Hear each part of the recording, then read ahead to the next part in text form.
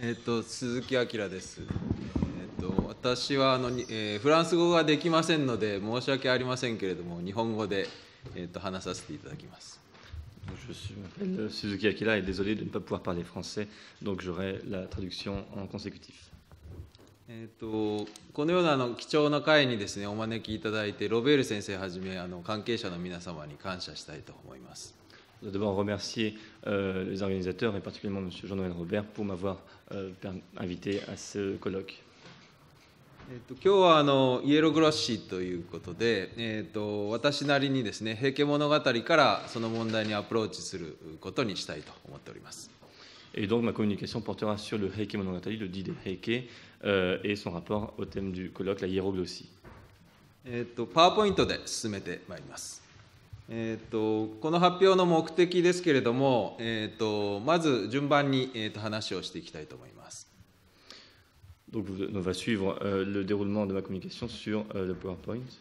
平家物語は、えー、と全国的なあの戦乱が続いていた12世紀の終わり頃の日本社会を描いた物語です。えーと、源氏と平家というですね、えーと、大きな武家の2つの組織がですね、えーと、対立をしていたそのそれを基本軸にして描き出しているわけです。えー、と長編の物語でありまして、えー、と日本の文学史上とても重要な作品であるというふうに位置づけられています。しかし残念ながら、えー、と成立した事情どのような成立をしたのかっていうところは分かっていなくてですね、えー、と大体1250年頃には えーと、平家物語という名前のある物語が存在していたということが分かっています。Donc le Heike Monogatari est un, un, long récit historique basé sur l'histoire de la lutte entre euh, les familles de guerriers Genji et Heike, donc dans le Japon tiraillé par les conflits internes à la fin du XIIe siècle. Et euh, donc bien que cette épopée soit une œuvre majeure dans l'histoire littéraire japonaise, on n'en connaît toujours pas les conditions exactes euh, dans lesquelles elle est née. Euh, on sait juste qu'il existait un récit euh, qui portait le titre de Heike Monogatari euh, aux alentours de 1250. えっと、平家物語の特徴ですけれども、えっと、遺本と呼ばれるものですね、これがたくさんあるということが特徴です。つまり、えっと、テキストがですね、固定化することがなく、えっと、作り変えられ続けたということですね。えっと、これがあの17世紀まで続いていきました。えー、約400年間にわたって「平家物語」の本文は、えーと、揺れ動いていたということになります。その結果として、えーと、膨大なテキストが今この世の中に残っていることになるんですね。で、えーと、内容とか分量が違うテキストがあるんですけれどもそれが全て同じ「平家物語」という名前で、えー、と存在しているということになってまして これほど多様な本文がある物語というのは日本文学史上他にはないというふうに考えられます。L'une des particularités hein, est le, le, nombre important de variantes textuelles euh, existantes. Euh, le contenu même du récit n'était pas figé euh, depuis sa naissance, donc au milieu du XIIIe siècle, et euh, on a ainsi euh, des variantes qui sont, euh, qui sont de taille et de contenu assez divers, mais qui ont été regroupées toutes sous le même titre de Heike Monogatari. Euh, c'est un phénomène, cette diversité de intellectuels qui me semble unique dans la littérature japonaise et peut-être aussi dans la littérature mondiale. えー、とこの物語はですね、えー、と書物で本としてこう読むということと加えて琵琶法師と呼ばれる語り手によって語られるですね耳で聞くテキストですねその両方の姿がありましたで結果として、えー、と平家物語は非常に多様な形で存在することになったと言えるわけです Donc euh, le, le, texte ne s'est pas transmis uniquement euh, en tant que texte lu, mais il était aussi transmis oralement par les joueurs euh, de lutte aveugles, les biwa hoshi, qui donc adaptaient le contenu en fonction euh, de, de, de l'auditoire et de leur propre style. えー、ともう一つの特徴はですね、えー、と後の時代に非常に大きな影響を与えたということなんですね。 で、えーと、文学や芸能はもちろんのことですね、えーと、絵画の側面であるとかあるいは工芸品ですね、えー、そういった有形の文化財に影響する。それから、えーと、人としての生き方ですね、えー、あるいは振る舞い方礼儀作法というようなものにも影響を及ぼしていますし、えー、とさらにはですね歴史認識とかあるいは美しさ美意識ですね。こういったものにも影響を及ぼしているというわけでえー、と非常に多大な影響を後世に与えたということができます。Donc une autre des spécificités est l'importance de son influence culturelle sur les autres arts, les arts plastiques, hein, euh, euh, le théâtre, enfin la peinture, euh, le théâtre aussi, euh, mais également sur euh, certains euh, comportements humains, donc certains, les rites, les protocoles, on va le voir tout à l'heure, ou la conception de l'histoire par les générations suivantes. えーと、物語がですね一旦出来上がった後の問題を考えるときに文学史においてはですね教授史とか、えーと、受容史っていうような言葉でですねこれを把握することになります、えーと、つまり一方の作品を誰かが受け止めると受容するという形で考える。これは受動的な関係性をそこに発見するという見方ですね。これが一般的です。Donc la manière la plus commune d'appréhender euh, une telle œuvre, c'est euh, de l'étudier sous euh, l'angle de l'histoire de sa réception. c'est une approche qui effectivement est passive. On, on voit la réception au fil du temps à travers les diverses lectures qui en sont faites. しかしですね、えー、と私はこの「平家物語」が歴史的に非常に動いている動体的であるということを捉えるためには 物語が生まれ変わっていくというその物語側に即した把握というのが必要でこれは再生という言葉で考えなくてはならないだろうというふうに考えております。それに再生することによって新しい意味が付け加えられたりあるいは価値が加わったりですね、それから「平家物語」を再生させた力原動力は何だったのかとかですね。あるいはその環境はどういうものだったのか。具体的な担い手は誰だったのかというようなそういう問題を考えていくことが重要になってきます。Mais je pense qu'il faut euh, également euh, l'étudier sous un angle plus dynamique hein, de euh, mettant en exergue les, les, les, changements, la reproduction euh, du texte à travers donc, les divers arts euh, au fil du temps et euh, s'interroger sur les nouveaux sens, les nouvelles valeurs qui sont accordées au fur et à mesure de ces euh, de ces euh, reproductions, euh, de voir aussi quelle est la, force motrice qui a permis cette reproduction au fil des ans et les acteurs de ce phénomène. でえーと、この「平家物語」の再生ということに関して5つの観点から考えてみたいと思います。Donc, je vais vous proposer cinq thèmes de réflexion, cinq points de vue euh, concernant cette reproduction euh, du Heike Monogatari. 1つ目はですね、平家物語 の本文を抜き書きするという、えー、こういうものです。えーと、書物としての「平家物語」から本文の一部分をそのまま抜き出して独立した物語とするというこういうものですね。Donc, euh, le premier type d'œuvre sont les œuvres qui utilisent des extraits du Heike Monogatari, c'est-à-dire qu'elles en prennent un épisode à partir duquel une nouvelle, euh, un nouveau récit va naître. 具体的にはですね、えーと、おとぎ草子と呼ばれるものの中に、えーと、義王とか、えーと、大原五行の草子と呼ばれるような作品があります。これは平家物語に登場する人物とか事件に焦点を合わせてそれぞれに完結した一つの短編物語として、えー、と作られたもの。Donc, dans les récits euh, médiévaux, et Otogizo aussi, on a par exemple euh, deux euh, récits, Guillaume et la visite impériale à Ohara, qui prennent un ou plusieurs personnages du Heike Monogatari et à partir de là élaborent une, une nouvelle histoire, une, une, histoire plus courte que le récit original. その他ですね、えっと、抜き書きするというパターンとしては、えっと、平家物語の和歌を抜き出したですね、和歌だけを抜き出した平家物語和歌抜き書きというものがあります。それから、えっと、江戸時代の注釈書としては、えっと、平家物語評判秘伝書とか、平家物語書と言われるような、こういったものがあるんですが、これらは、えっと、物語の中の人物とか言葉とか、そういったものに注目して解説注釈をつけるというものですね。その際には本文をそのまま抜き出すということが行われることになっています、まあ、こういう形で必要に応じて「平家物語」を部分的にこう切り取ってですね、えー、読むということが行われていました。Donc, euh, deux autres types d'œuvres utilisant des extraits du Heike Monogatari. Le premier est, euh, comme vous l'avez en haut, euh, des recueils qui reprennent uniquement les poèmes japonais, les waka, du Heike Monogatari. Le deuxième exemple, à l'époque d'Edo, euh, sont des commentaires du Heike Monogatari, donc encore une fois qui en citent les extraits et à partir des noms des personnages ou de certains termes vont commenter le texte.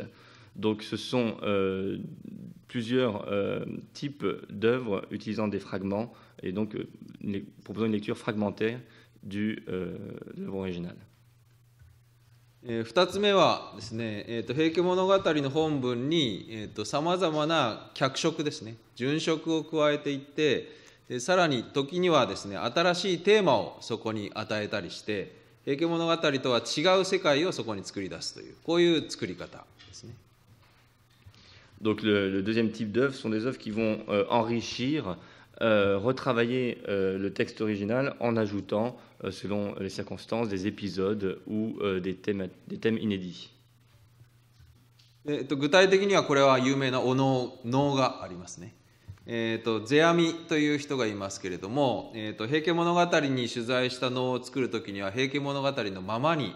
えー書きなさいというふうに語りました。 えっと室町時代にはあの550曲ぐらいですね、えー能の作品があったと言われてるんですけれどもそのうちの86曲は確実に平家物語と関わっているというふうに言われています。世阿弥自身の作品としても、えー、と敦盛忠則のようなこういった作品があって、えー、と戦場で討ち死にした武士たちの姿が描かれています。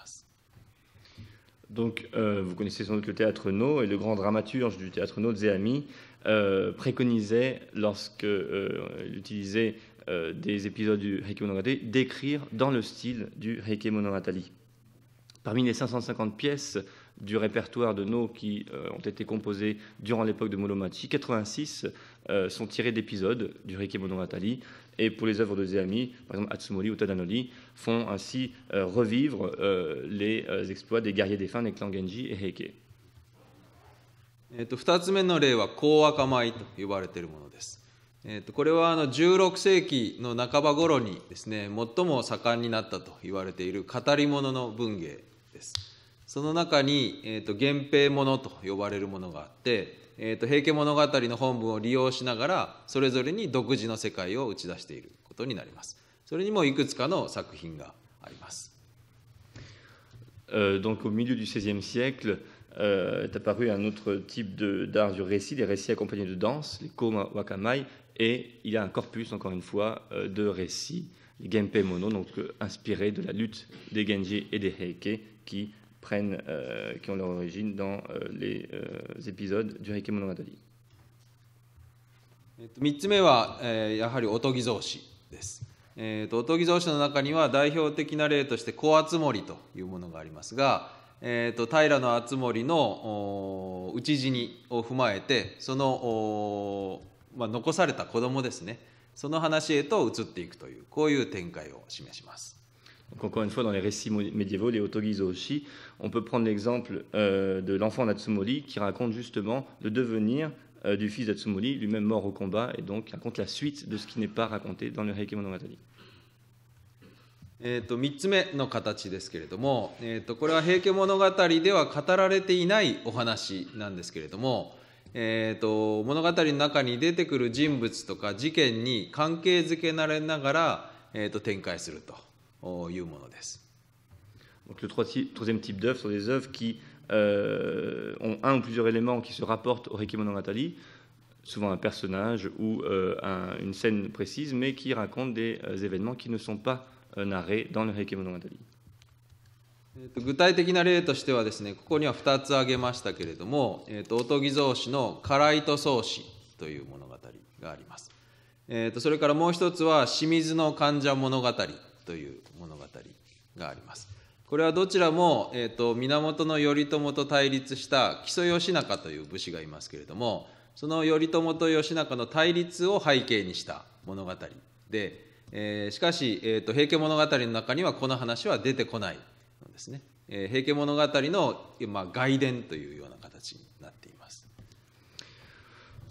Je cite deux exemples. Euh, le premier, le récit de Karaito, et le deuxième, le récit du jeune homme de Shimizu, qui euh, tous deux mettent en scène Kis- Kiso Yoshinaka et son ennemi, donc euh, Yoritomo, et euh, raconte des épisodes qui euh, sont en fait des, des, suites de ce qui est raconté dans le Heike Monogatari, donc qui ne sont pas dans le récit original. えっと、同じく3つ目の例としては講和米の過激よというようなものもあります。これも「平家物語」では語られていない ですね、えっと、この過激よという一人の武士の後半生を追っている物語。Donc, euh, dans les récits dansés des Kowakamai, on peut citer l'exemple de Kagekiyo qui raconte euh, l'histoire d'un personnage du Heike Monogatari, euh, pour lequel le récit original donne très peu de détails, et ici, on a donc toute la seconde partie de sa vie qui est racontée. でえーと、これらの物語は平家物語には語られていないお話ですのでいわゆる平家物語の枠組みをこうはみ出してしまっている物語です。えー、しかしですね、えーと、平家物語の内容を踏まえてその世界が成り立っているということになりますので平家物語が存在しなければこれらの物語は成り立たなかったということになります。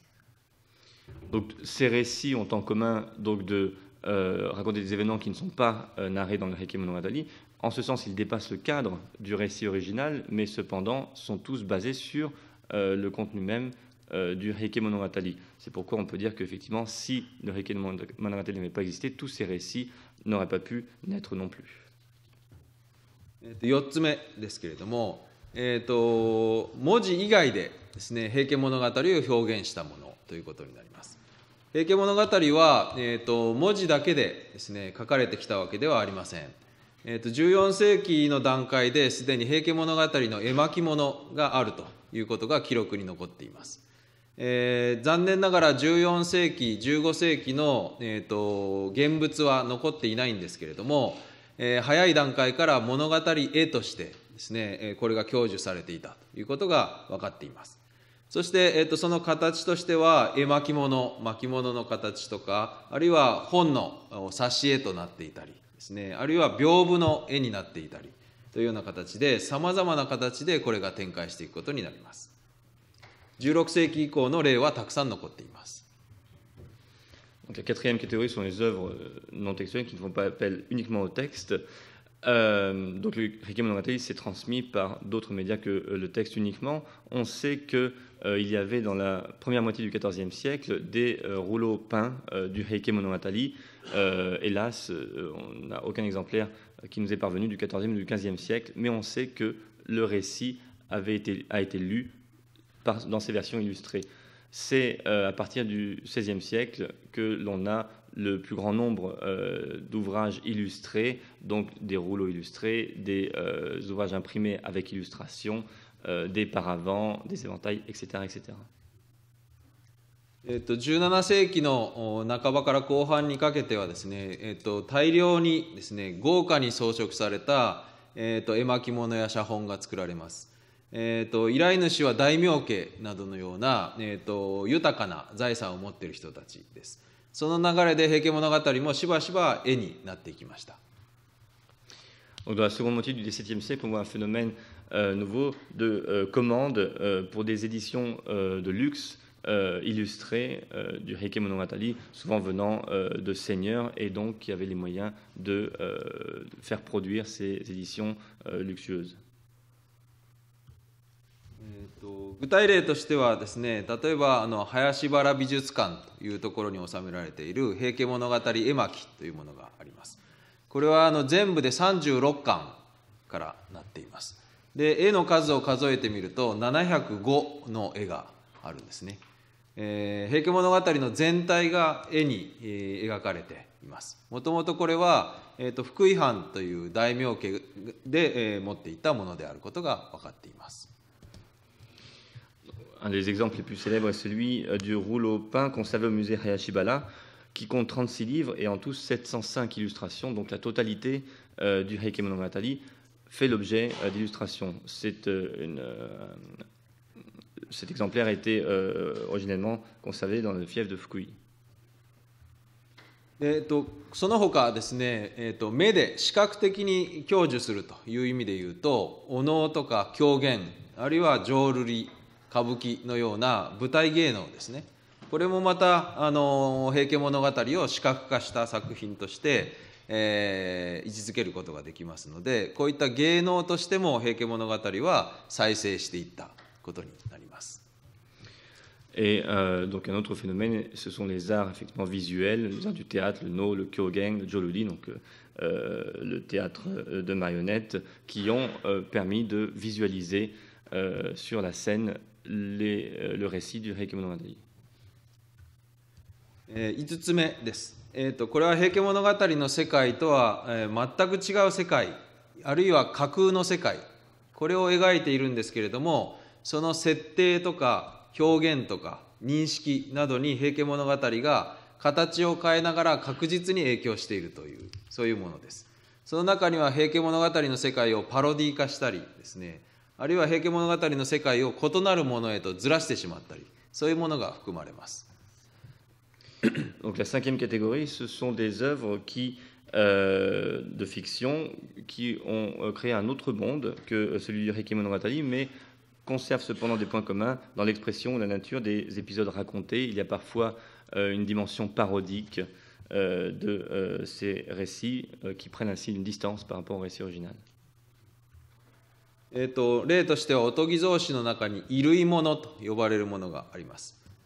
これはあの植物とか魚とか鳥とかですね人間ではないものを擬人化して、えー、描く作品群なんですけれどもこの中に、えーと、精進魚類物語とかですねあるいはアロ合戦物語と言われるものがあって、えーと、擬人化された衣類の者たちが戦っていく戦の物語になっています。これは平家物語の表現が下敷きになっていることが明らかになっています。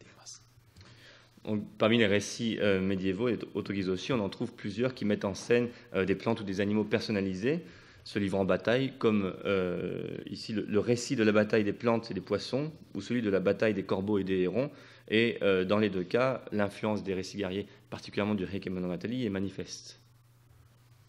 えと具体的に一つ例を挙げますとこれが精進魚類物語の冒頭なんですけれども えーと、祇園林の鐘の声聞け聞けば諸行も無常なりとこう続くんですけれどもこれは言うまでもなく「平家物語」の冒頭のですね祇園少女の鐘の声諸行無常の響きありこれをもじってパロディ化しているものです。Donc là, euh, vous avez l'exemple euh, du début euh, du euh, récit de la bataille des plantes et des poissons. Euh, donc, je, je, cite un petit peu en traduction inspiré de la traduction de, de de la forêt de Guion, le son de la cloche, de l'impermanence de toute chose et la résonance. Du temple des arbres chala, le jus de fougère démontre que tout ce qui prospère nécessairement est bu. L'orgueilleux charbon ne dure, dans la grillade il retourne à ses cendres. L'homme valeureux de même finit en poussière sous les herbes flétries. C'est bien sûr une parodie euh, de euh, l'original du Heike, qui commence par le, célèbre euh, du monastère de Guion, le son de la cloche, de l'impermanence de toute chose et la résonance, etc. etc.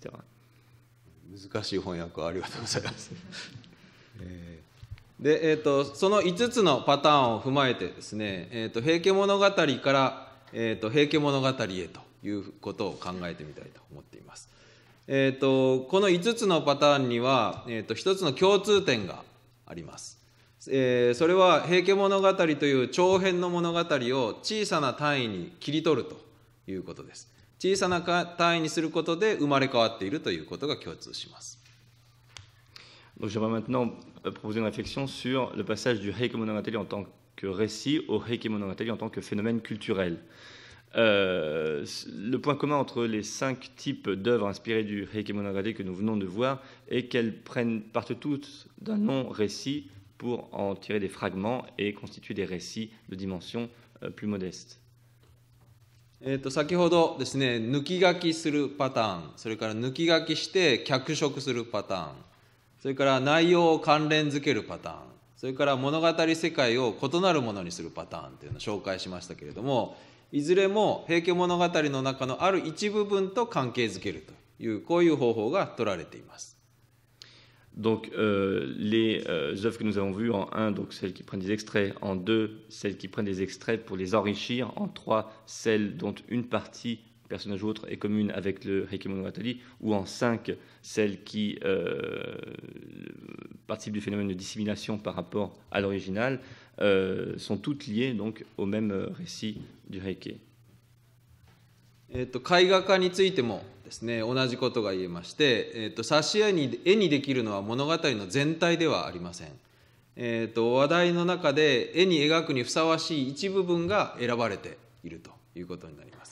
絵師はさまざまな条件に応じてその場面を選ぶことになります、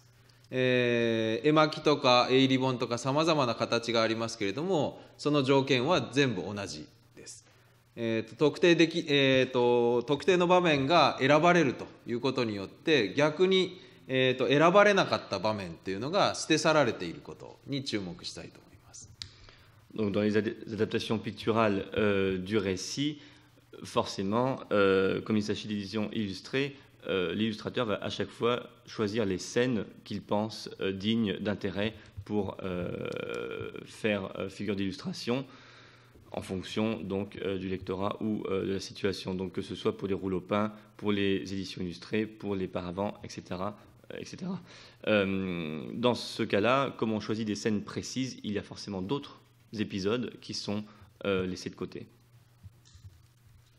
えっと、平家物語が生まれ変わった再生した作品というのは、ね、時間が経つにつれてどんどんとたくさん作られて累積的に増えていくことになります。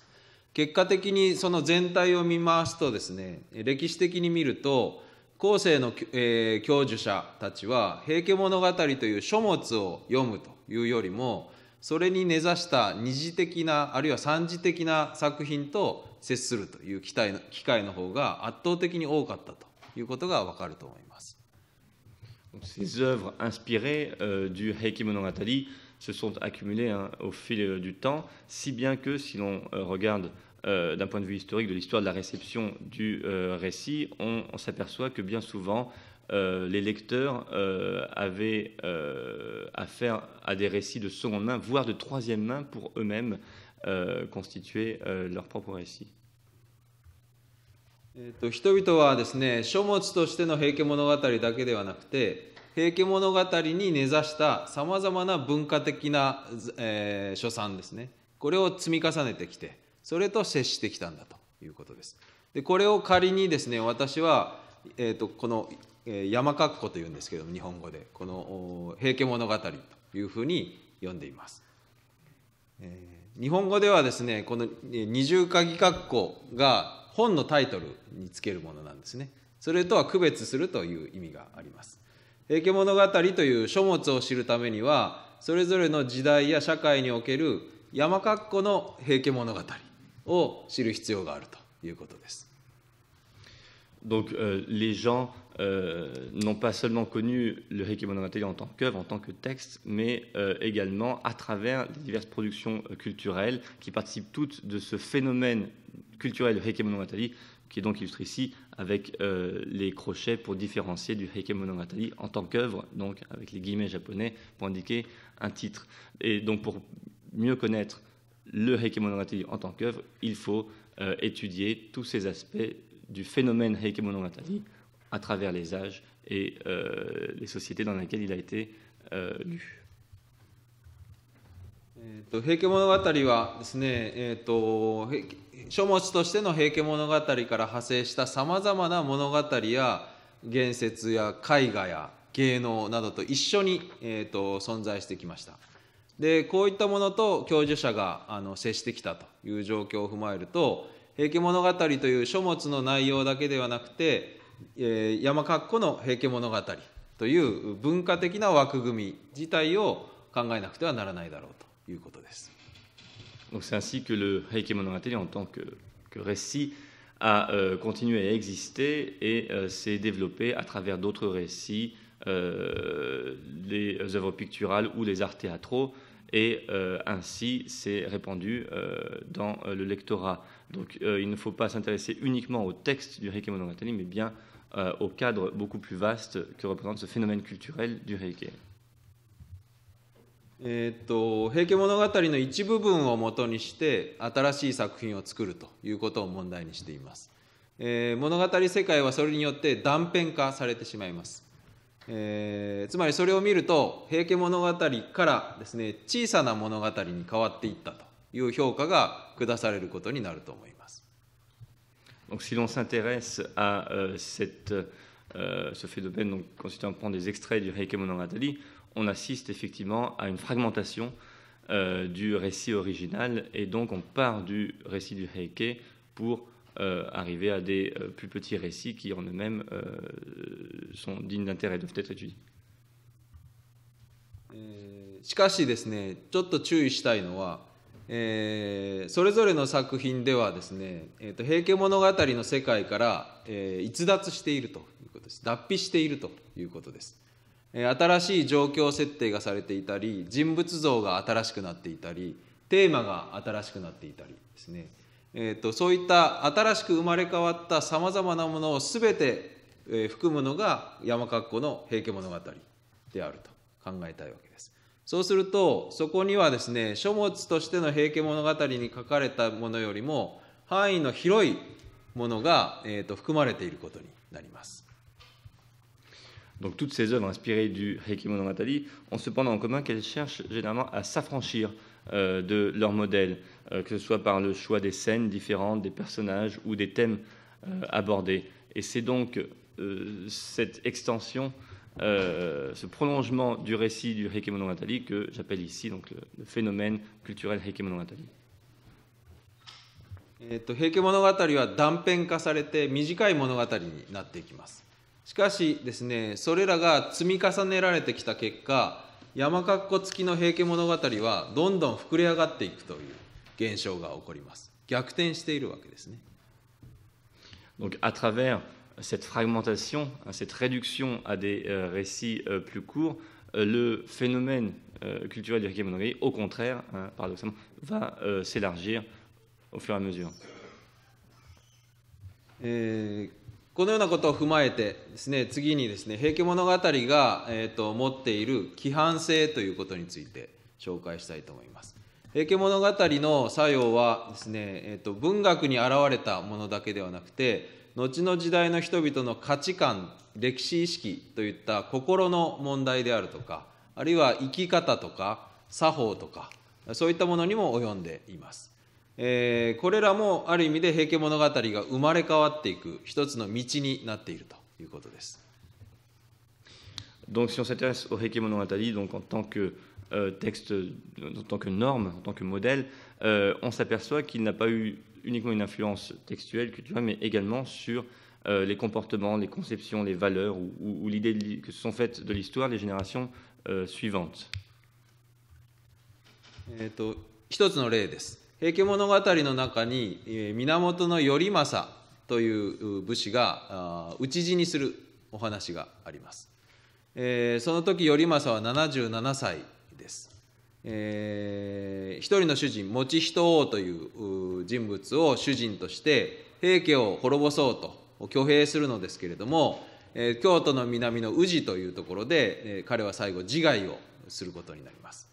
えー追い詰められた頼政は家来からですね自害を勧められて阿弥陀仏を唱えることになりますでその後時世の歌を読みます えーと埋もれ木の花咲くこともなかりしに実のなる果てぞ悲しかりけるとこういう歌です歌は翻訳しなくても結構です Donc prenons un exemple concret, celui de la mort de Minamoto no Yorimasa, donc au livre 4, à l'âge de 77 ans, donc c'était un guerrier qui, euh, sur ordre de- donc, du prince Mochihito, lève une armée pour anéantir le clan euh, Heike, mais est défait euh, à Oji, au sud de Kyoto, et poussé au suicide. Euh, dans cette scène, donc, euh, un de, euh, des guerriers qui était à son euh, service lui, donc, lui conseille de se suicider, et à ce moment-là, donc, euh, Yorimasa va réciter l'invocation Bouddha Amida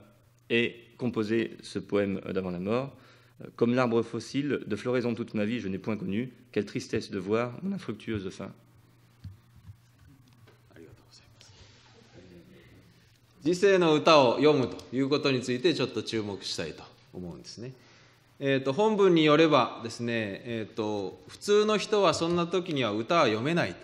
書いてあります。しかし彼は若い頃から和歌が好きだったので最後のこの時まで忘れることはなかったんだろうと書いてあるわけです。つまりこれは頼政が和歌を心から愛していたということを語るお話です。Je voudrais insister effectivement sur euh, cette idée de composer un poème d'adieu au monde au moment de mourir. Le texte nous dit que si euh, Yolimasa l'a fait, alors que normalement ce n'est pas quelque chose de naturel dans de telles circonstances, c'est qu'il a été versé dès son plus jeune âge dans la poésie et que donc c'était naturel pour lui à ce moment de composer un poème. しかしですね、この物語は後の時代になると少しニュアンスを変えて、えー受け止められていきます。 Cet épisode a euh, cependant été interprété d'une manière un petit peu différente plus tard. えー江戸時代の注釈書によるとですね、えー、と頼政のことを名称であるとか誉れと表現することが出てきます。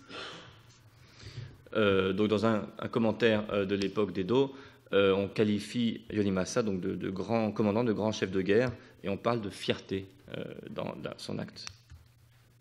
えー、とつまりですね頼政が良将素晴らしい武将であったからこそ死に際して歌を読めたのだということに変わってくるわけです。これはあの良将としての誉れだというふうにも語ります。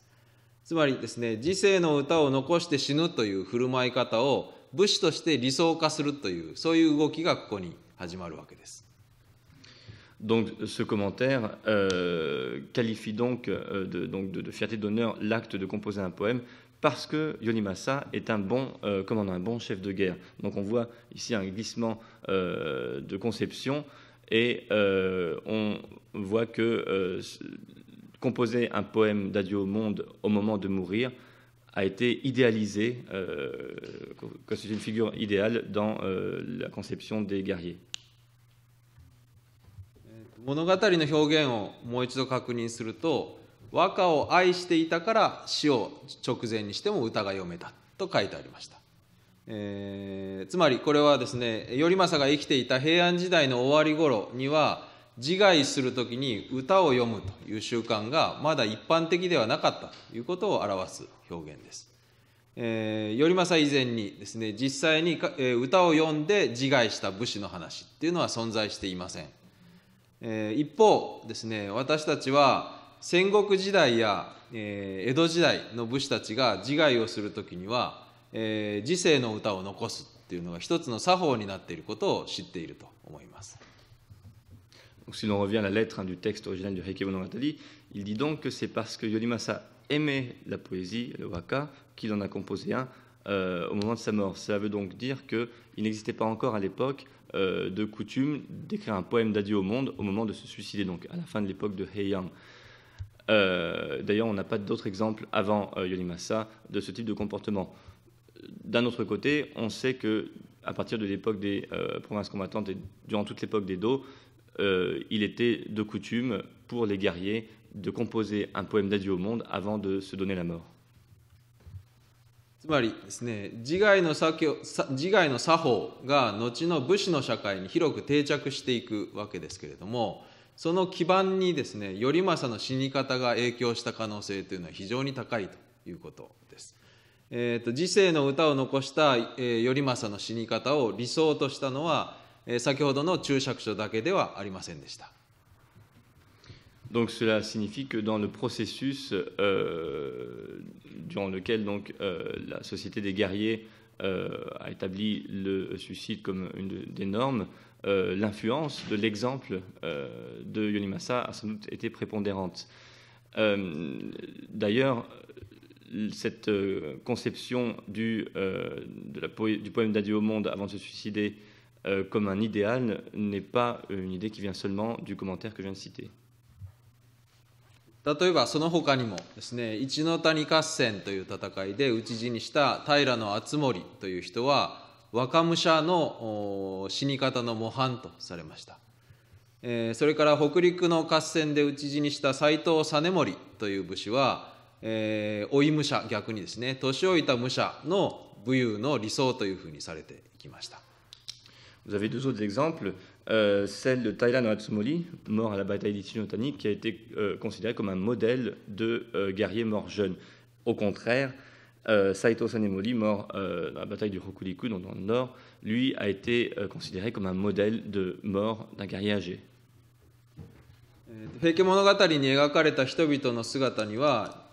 えー実社会ですねこの世の中においての規範性を持っていたということが理解できると思います。えー、つまり「平家物語は」えーと、ある時代においてはですね生き生き方の理想像を見いだすためのカタログとして扱われていたということが分かります。えー、平家物語は、えー、生身の人間の振る舞いとなって再生したということもあったわけです。Euh, donc on peut euh, voir que euh, les personnages décrits dans le Heike Monogatari ont été considérés comme des euh, normes, des modèles pour euh, la société euh, réelle. Ainsi, ce récit fournissait une sorte de catalogue d'existence idéale pour euh, les générations suivantes. Et en ce sens, le récit du Heike Monogatari s'est donc reproduit à travers le comportement d'êtres humains dans le monde réel. 5つ目最後になりますけれども平家物語への再生ということを考えてみたいと思います。これまで紹介してきたのは平家物語が再生する問題です。それに対してですね、平家物語へ再生していくという問題、これを考えてみたいと思います。つまり平家物語を文学史の中で捉えようとするときに、平家物語自体がそれ以前のさまざまな物語が生まれ変わった姿でもあるというそういう問題です。Donc Jusqu'à présent, vous avez vu, nous avons vu comment le Heike Monogatari se reproduisait, hein, renaissait dans d'autres œuvres, mais nous allons voir maintenant ce qu'il reproduit lui-même, hein, c'est-à-dire de quelles euh, œuvres précédentes il en est le reflet.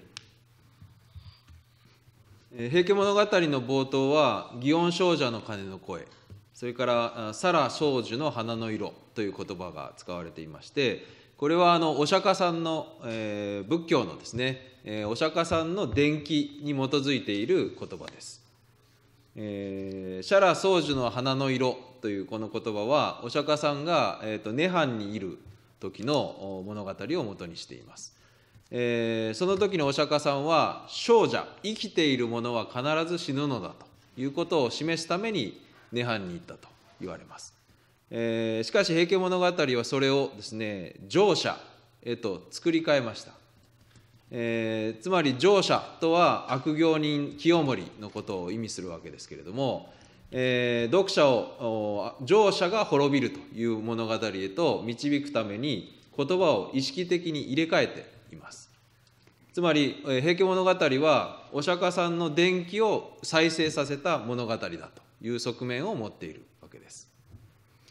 Donc, si l'on euh, se souvient donc de, des premières lignes du Heike Monogatari, hein, il était question du son de la cloche du monastère de Gyon, de la couleur des fleurs des arbres Chala, euh,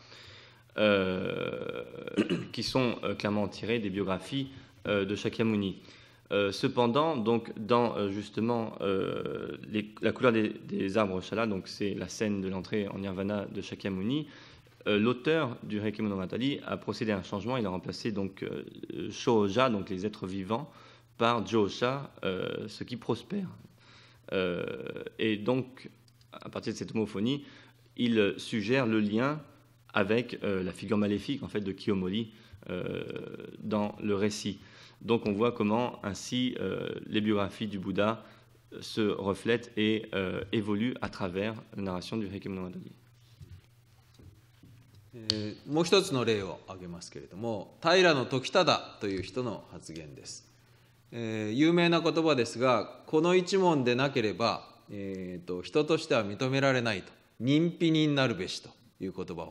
使っています。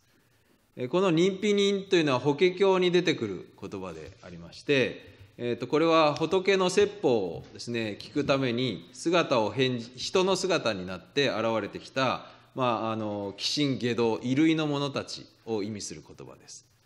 えー、ここでは認否人たちがお釈迦さんの説法を聞くためにやってくるというこの行動とそれから人々が何とか平家と縁を結びたいと思って近づいてくるというこのことを類比していることにアナロジーがそこで行われていることになります。つまりこれもお釈迦さんの故事が「平家物語」の一つのエピソードとして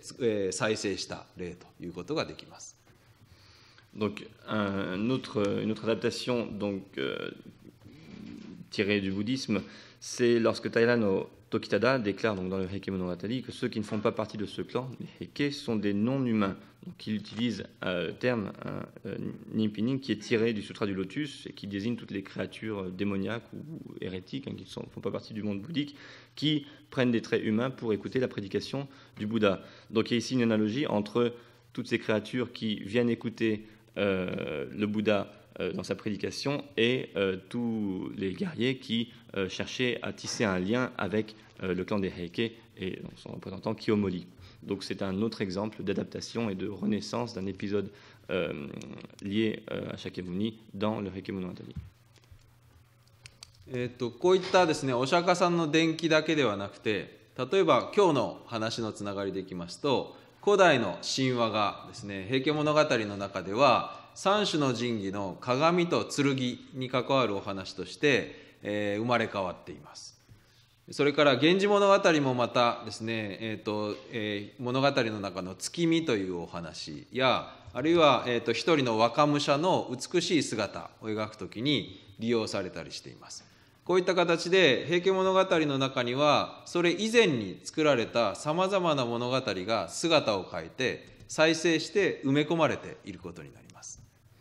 Donc si l'on prend un, autre, un exemple lié avec ce qui a été évoqué plus tôt, hein, il y a aussi euh, des thèmes puisés dans euh, les mythes euh, antiques, notamment donc au, volume 11, au livre 11, euh, l'explication de l'origine hein, du miroir et, du sable parmi les trois régalia, qui donc est réadapté ou dans l'expression, lors de l'épisode de la contemplation de la Lune, par Thailand Kolemoli, l'expression est clairement influencée par le roman du Genji. えー、まとめるとですね今日の発表の要点はこのようになると思います。えーと、書物としての「平家物語」が異なる姿へと再生していくという問題を考えたわけですがえー、一つには内容が断片化短編化されていくということ、えー、その一方でですね認識枠としての山格好の平家物語というのはどんどんとこう広がっていくという問題、えー、そしてその中で平家物語は実社会に対して規範性を発揮していったということ。それからさらに文学史の流れの中ではさまざまな先行する物語が平家物語へと流れ込んでいるということですね。えー、後の文芸や文化や社会やそういったものに大きな影響を及ぼした平家物語書物としての平家物語。さらにはこの山括弧としてのですね枠組みとしての平家物語が文化的な源泉として非常に大きな意義を持っていたことそしてそれを考えるには再生という観点からものを捉えてみる必要があるということを、最後に伝えておきたいと思います。Donc pour résumer un, petit peu, euh, nous avons vu quatre formes de reproduction euh, du texte, enfin de, l'œuvre du Reiki Monogatari. La première qui consiste en une fragmentation, une condensation du récit. La deuxième euh, en un élargissement du cadre du phénomène culturel du Reiki Monogatari. La troisième, cette idée de normes, d'idéaux dont s'inspiraient les hommes dans la réalité. Et quatrièmement, cette renaissance, cette résurgence des récits précédents dans le Reiki Monogatari. Ce qui nous a permis de voir que l'importance d'étudier d'un côté, bien évidemment, l'influence qu'a eu le Reiki Monogatari sur les arts et la culture des époques suivantes, mais également le phénomène culturel du Reiki Monogatari en tant que phénomène culturel fondateur à travers sa reproduction dans euh, les euh, autres euh, récits.